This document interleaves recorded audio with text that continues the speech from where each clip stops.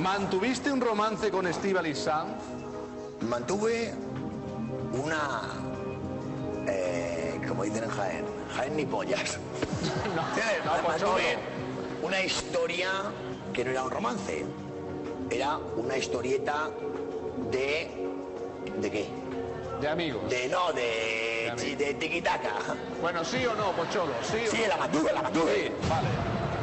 ¿Tu relación? Como a mí me corresponde la parte técnica de esta prueba, yo no estoy dispuesto a seguir adelante si este señor no se comporta. Bueno, ¿Qué tengo que hacer?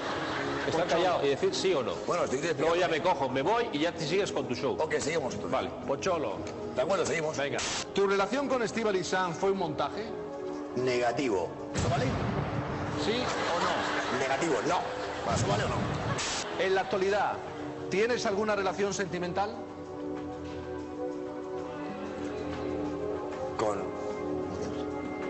José Antonio. Con José Antonio.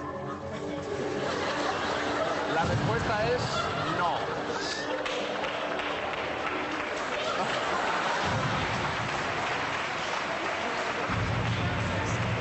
Seguimos. Seguimos. Pocholo, Hazme más. ya no hay más. No jodas. Ya no hay más preguntas. muchas gracias.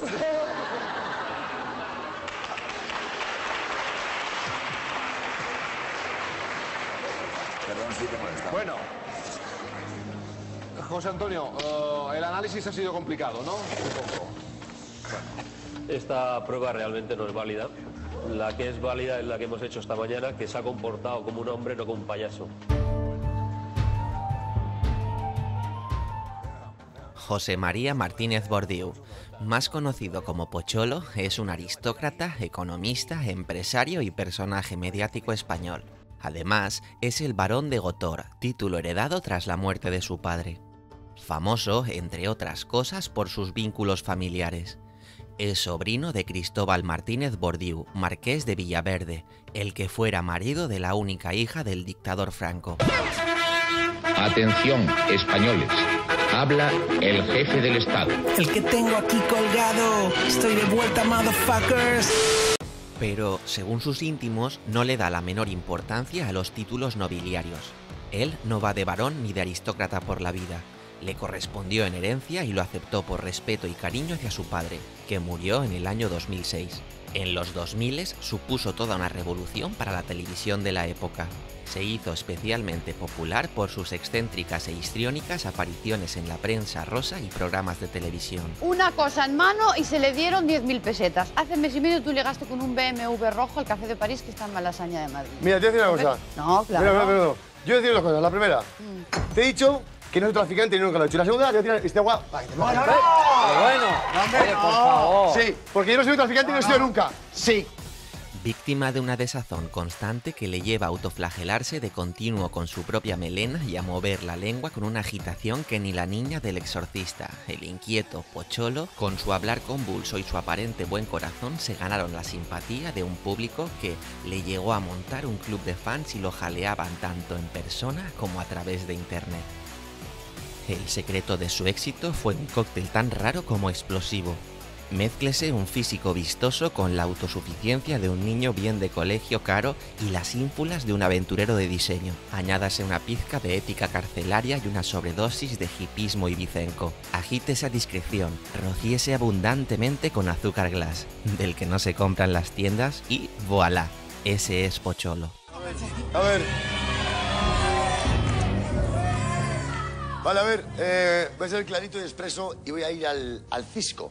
Vamos ahí. De la mochila no hablo, ¿vale? A ver, el tema es que... A ver. A mí me pone más cabreado una mentira que un gramo de perico. Para empezar. Segundo punto. No tiene teléfono móvil ni pretende tenerlo. Su familia solo puede contactar con él por medio de unas direcciones de correo electrónico que, aparte de los más cercanos, tiene muy poca gente. Pocholo Martínez Bordiú, antaño animador de las fiestas en Ibiza, es el franco desaparecido, el más rebelde y el menos significado políticamente, aunque en su día fuera el más mediático. El primo de los hermanos Martínez Bordiú Franco tiene escasa relación con el resto de los suyos, viaja poco a Madrid y prefiere las playas ibicencas al asfalto de la capital de España. Afincado en la isla, lleva casi cuatro décadas viviendo allí, convirtiéndose en una institución de la misma. Vive en Ibiza en un camión Pegaso de 30 toneladas, que para más disloque lleva adosado un vagón de tren de mercancías tuneado por él mismo para coger un depósito de 1000 litros de agua, otro de 2000 de gasoil, placas solares y 8 motos. Sin duda es el más bohemio y hippie de la familia. Pero, ¿cómo llegó Pocholo a la televisión? ¿Cuáles son sus mejores momentos? ¿Cuál es el origen de su nombre Pocholo? ¿Por qué desapareció de la televisión?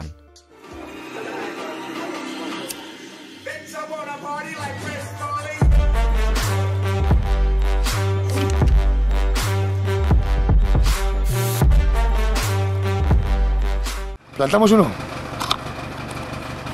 Es un bulbo que le regalaré. Me he cortado el dedo. Pero bueno. ¿Y? Me he cortado para dar un bocata. Esto se planta suerte con sabor a Ibiza. ¿Te ha gustado? Sí, hombre, sí, sí. Pues como tienes una edad maravillosa, por mi cumpleaños, te deseo felices edades y te lo regalo. Yo que los vea muchos años. Entonces, ¿qué se puede sembrar ahí? Donde tú quieras y le echas sombra, aquí, sombra, ves es un bulbo, ¿no? Sombra y agua. Ponga ya. ¿De acuerdo?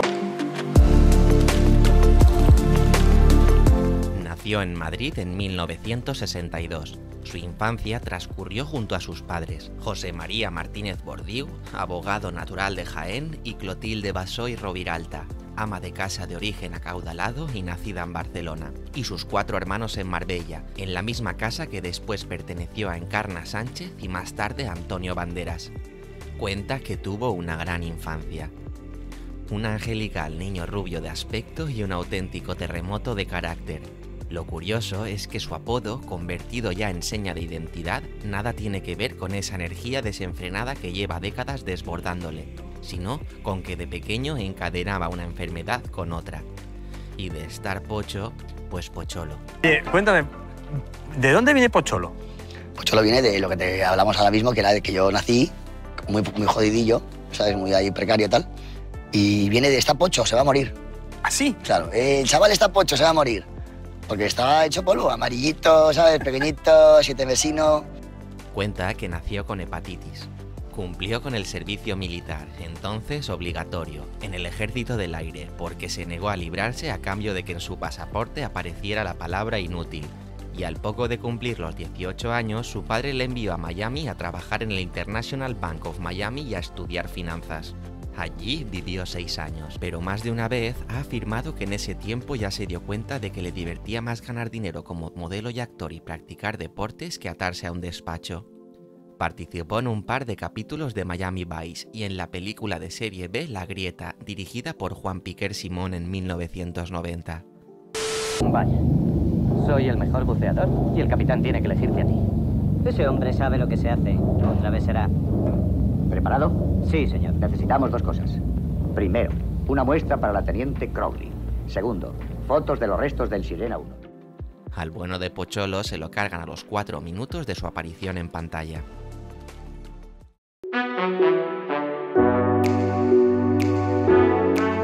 La rebeldía fue una de sus características cuando fue haciéndose mayor.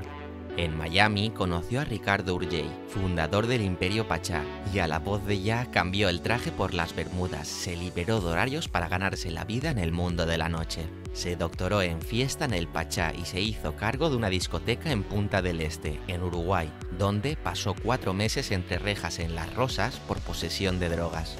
Al trabajar como disjockey o animador de la discoteca Pachá, el joven se fue distanciando de los apretados corsés de su clase social para abrazar un hedonismo que no siempre fue bien entendido. Pero fue su boda con Sonsoles Suárez, hija de Adolfo Suárez, la que le dio popularidad. La pareja contrajo matrimonio en 1992 y solo dos años después se separó. En este tiempo empezó a convertirse en un personaje popular y haría muy buenas migas con la prensa. El efecto Pocholo. Arrancando los motores.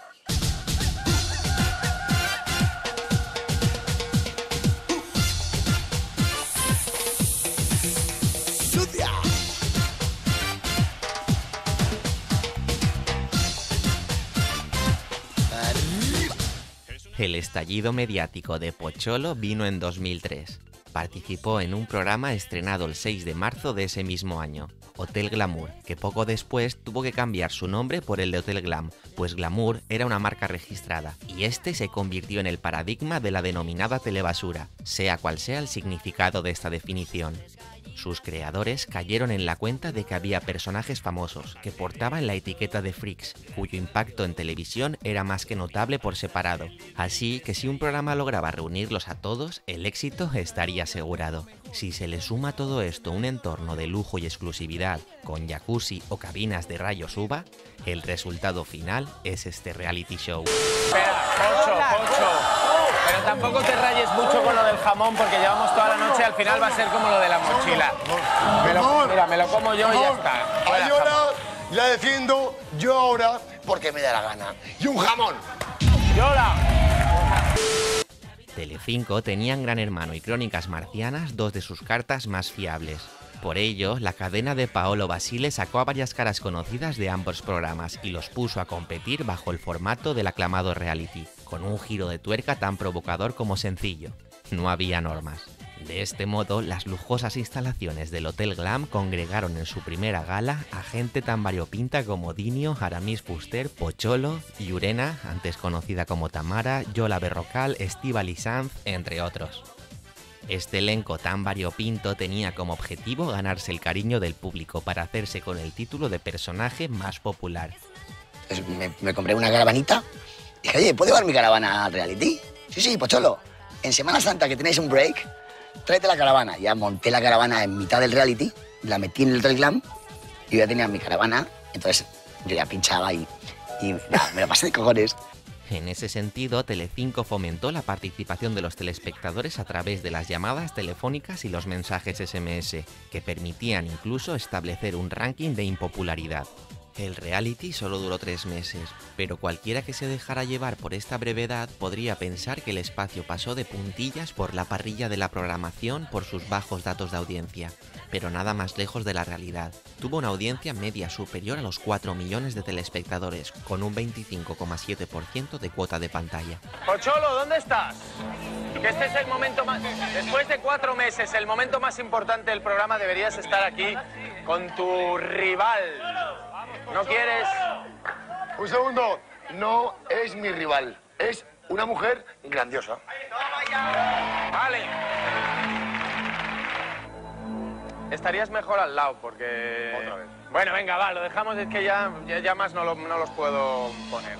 Los espectadores de Hotel Glam, con sus llamadas telefónicas a las líneas 905 y sus mensajes al 5500, han decidido por un 55,33% que el ganador de este concurso. Y por tanto, desde este momento, el personaje más popular de este país en el año 2003 sea Yola Berrocal. Poco tardaron los concursantes en dejar momentos para la posteridad. Durante el tiempo que duró el concurso tuvieron lugar episodios que pasaron a formar parte de los chascarrillos en la sociedad de aquella época.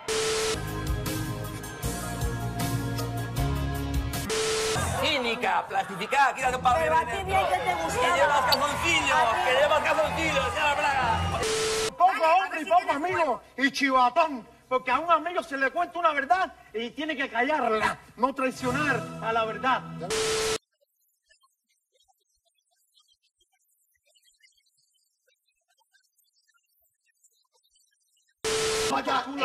Ya enfrentado Pero a por ti, tu culpa. a de todo el mundo. Yo porque eras- que eras mi amigo. que la calle no no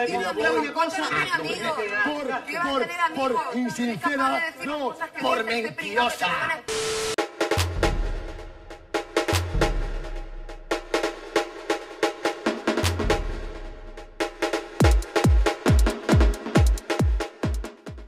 Si hubo alguien que dio juego, ese fue, sin duda, Pocholo. La personalidad volcánica del aristócrata hacía que tan pronto se presentara en el plato de crónicas marcianas como que decidiera abandonar Hotel Glam tras solo cuatro galas. Eso sí, Esta salida fue solo un paréntesis, ya que regresó poco después protagonizando la hilarante investigación para desenmascarar quién le había roto su querida mochila. Además, tenía su caravana aparcada en la puerta del hotel. Yo he intentado, eh, desde, desde hacer firmar a todo el mundo por la mañana, que no le han hecho, a firmar a todos. Luego he dicho, eh, os doy una canica, una, una bolita de canica a cada uno, y que no haya sido, me la todos me la han devuelto. Y luego he llegado con un cuchillo y he dicho, me corto las venas si no sale. Y no me la he cortado. Y nadie, un segundo, un segundo, es mi manera de presionar desde... Y si desde no ha sido ninguno, Pues como no ha sido ninguno, prefiero no dudar de nadie e irme a un cuarto. Entre unas y otras situaciones, Hotel Glam se disparaba en la clasificación de los programas más vistos, llegando incluso a ser criticado por el presidente del gobierno del momento, José María Aznar. Este lo tildó de telebasura. El desencanto del líder del Partido Popular con Telecinco fue la razón que llevó a la cadena de Basile a acabar de golpe con este formato. Después de su paso por Hotel Glam, fue un asiduo de los platós de programas como Crónicas Marcianas, Tómbola, etc. Su fama de alma libre lo llevó a protagonizar espacios televisivos como Aventura en África y además tuvo su especial en Planeta Finito, un programa de viajes de Telecinco. Con un caché de 9.000 euros por asistir a fiestas o discotecas, el aristócrata supo surfear bien la ola. Tanto es así que en julio de 2006 estrenó su propio programa en La Sexta, Pocholo Ibiza 06. Hostia. Soy el alcalde de Ortigueira. ¿Qué dices? Y traigo a los gaiteros de Ortigueira. Pero yo quiero contigo, yo voy contigo. yo- ¿Qué cojones? Pero yo voy contigo, yo voy contigo con la caravana. Vamos a mirar. ¡Viva Ortigueira! Ahí estamos. A ver, todos invitados. A ver, camarero. Ver, como de dinero, toma 500 euros, hostia, y gástalo. Ven aquí, que no pagues aquí. Aquí. Eh, eh, ven aquí. Trae, trae. Trae, dame eso, que es mi bar. Trae, que es mi bar, trae, trae. Bueno, bueno, se lo devuelvo a él. No, A él sí, DJ, pero ya, eso. o a ti. A él lo No, a quien quieras. ¿Qué pago yo, joder? Aquí, escucha, estás en mi casa, aquí no pagas tú ni una peseta. Te voy a decir una cosa. Yo tengo el placer de invitaros a mi caravana. No, te invito a mi caravana a vivir con tu gente No, y... no, y- yo no vivo en estrecheces. ¿A ¿Dónde vas? ¿A ¿Dónde vas? Yo no vivo en estrecheces, yo no puedo vivir en una caravana, hostia. Que soy rico, joder, pero, pero esto, mi caravana tiene peluquería, peluquería y encima tengo... No. Pero, pero, pero un segundo, un segundo, óyeme esto. Tiene 15 rusas a tus Pues órdenes. pues yo tengo 1500 1500 tías, hombre, no me jodas. 15 rusas. No, vale, pana. Pero que yo soy, yo soy la que mando de las rusas y todo. Yo mando las 1500, hostia. un programa de docurrealidad protagonizado por él mismo y ambientado en Ibiza.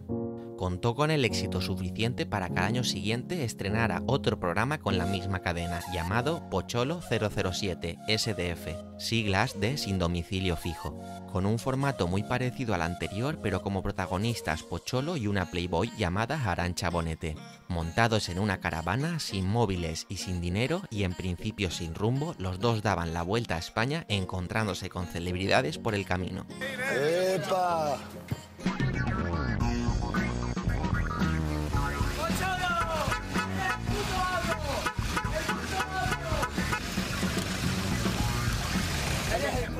Tío. Te veo en la tele, tío, me lo paso de puta madre. Después de todo esto, las apariciones de Pocholo en televisión dejaron de ser tan constantes. En el año 2011 y 2013 volvió a participar en los dos realities de Telecinco, El Reencuentro y El Campamento de Verano. Sin embargo, aquel camino no fue todo de color de rosa y ya lleva años alejado de la pequeña pantalla. ¿Por qué dejaste la televisión? ¿Por qué Porque llevas tiempo sin... sin... Sí, hombre, la verdad es que a mí solamente me llaman o, pa- pa- o para cotillar de alguien que no voy. ¿Sí? Sí, me llaman, me llaman programas más rosas y amarillos que, que de actividad. La verdad que agradecer. ¿Te gustaría hacer algo? Me encantaría. Y es que Pocholo aún sigue viviendo en su camión hippie. Su trabajo sigue estando unido a la vida nocturna, en Pachá. Una vida excéntrica para un alma libre que siempre se ha negado a seguir los pasos que lo obligaban a dar debido a su apellido. Fue el año pasado cuando lo vimos reaparecer en cuatro en el programa Ven a cenar conmigo, Gourmet Edition, donde pudimos verlo cocinar y practicar su excéntrica verborrea. También se dejó ver en First Dates en 2016, donde demostró sus dotes de seducción. Anteriormente, en 2013, le vimos como invitado en una cena de Masterchef. Al margen de la televisión, Pocholo es un empresario de relativo éxito. Es promotor de la empresa Scovic y posee un 3% de la compañía. Conoció a uno de los creadores en el Dakar y en 2018 sudó la camiseta en la presentación de Scovic en la Feria de Logística Delivery en Barcelona, donde su empresa ganó el primer premio a la innovación. También posee una página web donde vende sus pochilas. Sí, con P de Pocholo. Hay muchos modelos y te digo que no son especialmente baratas.